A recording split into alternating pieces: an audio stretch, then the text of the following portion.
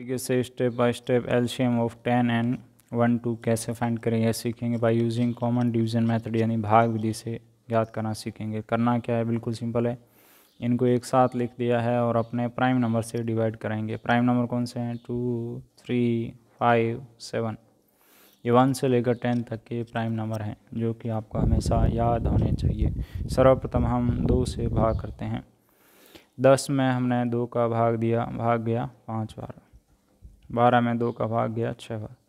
फिर दो का भाग छः में तीन बार। पाँच में नहीं जा रहा तो आगे लिख दो।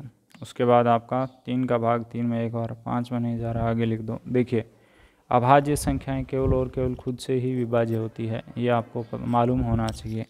उसके बाद पाँच का भाग, पाँच में एक बार, यहाँ आपका पहले से एक आ रखा है। तो आपका एल्शियम क्या बन गया? ये जो गुणनखंड आए हैं, इनका हमें गुणा करना है। चलिए इनका हम गुणा कर देते हैं। कितना आ गया? साठ। तो आपका दस और बारह का एल्शियम कितना होता है? साठ होता है।